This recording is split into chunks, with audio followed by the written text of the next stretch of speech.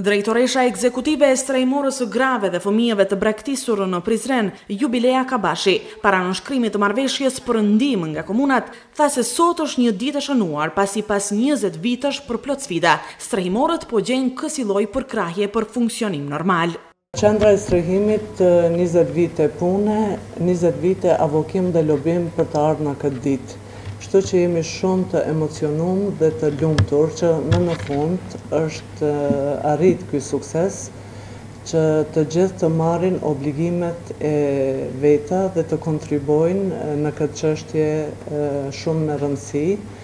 e në veçanti u tregu që është edhe më e rëndësishme gjatë pandemisë me Covid nëntëmbëdhjetë, përderisa të gjithëve iu urdhëru me ndejt nëpër shtëpia dhe të izolohen, ne u deshtëm të punojmë, sepse patëm raste të dhunës në familje nëpër strehimoret tona, u deshtëm të pranojmë edhe raste të tjera të reja, derisa u mor vendimi që me nga IKSHP-ja që rastet e dhunës në familje të dërgohen në konviktin numër shtatë në Prishtinë. Zëvendës ambasadori i OSBE-së, Kilian Val, tha se përmes nënshkrimit të kësaj marrëveshje po i japim fund problemeve me të cilat janë ballafaquar strehimoret, të cilat ofrojnë shërbime thelbësore, përfshirë strehimin e viktimave në një vend të sigurt dhe ndihmë për rehabilitimin dhe riintegrimin në shoqëri. Memorando of understanding, such as the one that will be signed today, are a clear message that victims can continue to safely turn to the shelters in Prizren, and Jakov Jakovica uh, for help. Now, the OSCE mission in Kosovo, and I've discussed it uh, with the colleagues from the shelters, stands fully behind this effort now for 20 years uh, as we're working to achieving this goal. Um, and uh, I would like to ensure that uh, we will continue to do so uh, in an unwavering way.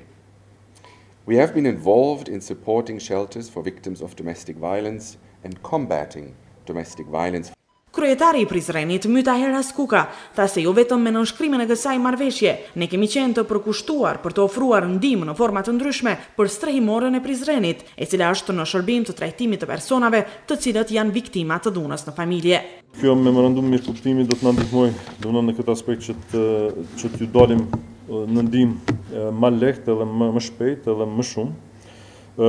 përpos kësaj unë mendoj që ndoshta edhe si komuna që jemi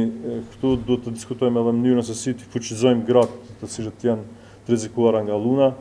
a me trajnime ndoshta në qendrën e kompetencave apo në trajnime të tjera, me siguri ju keni edhe projekte të tjera, po mendoj që duhet të shikojmë se si të domethënë se si të ofrojmë mundësi që ato të fuqizohen ekonomikisht, edhe kjo t'i fuqizojë pastaj ata edhe si në aspektin social, edhe si pjesëtar të, të shoqërisë sonë, edhe të jenë domethënë pjesë e shoqërisë me pjesëmarrjen e tyre në ekonomi. Ndoshta një gjë tjetër që mendoj ne do të fillojmë në aspektin e drejtorisë së arsimit, monitorimi i dhunës nëpër shkolla, po nëpërmjet saj edhe dhunës në familje. Në mbështetje të kësaj marrëveshje u shprehën edhe kryetari i Suharekës Bali Muharremaj, ai i Mamushës Abdylhadi Krasniq dhe nënkryetari i Dragashit Selami Sahiti. për njerëz që kanë nevojë, jo veç në komunën e Prizrenit, po në regjionin e Prizrenit dhe besoj që ky aktivitet do të vazhdo në të ardhmen, pasi që është për të mirë qytetarëve tonë. Unë besoj që në vitin e ardhshëm ta shtojmë vlerën e të hollave, pasi që ne në Suharekë kemi kalu përmes asamblesë komunale, kemi shumën valide domethënë përnjëherë bojmë bartjen e mjeteve, po besoj që në vitin e ardhshëm do ta rritim këtë vlerë. Për punën na mbeshtesin, Edhe mbas mundësive, domethënë do ta përkrahim nëse ka nevojë edhe më tepër. Komuna e Mamushës rreth pesëqind euro ka pas dishka që i kishin shpënda me bo ni mbështetje, po edhe unë thashë pesëqind euro më dok si kryetar pak, unë thashë po e dyfishojmë këtë mbështetje prej komunës Mamushës e bonëm 1000 euro. me shpresë që ndoshta do të kishin mbështet edhe kryetarë tjera, me dyfishu hiset e veta, po çdokush e din oborrin e vet sa e kanë qysh e kanë edhe